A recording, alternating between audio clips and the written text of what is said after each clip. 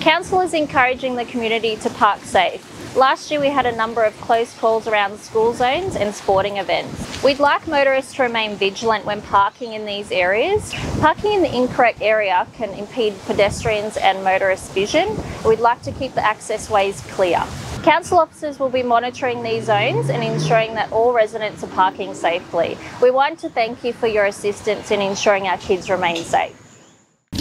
This update is powered by Council Connect.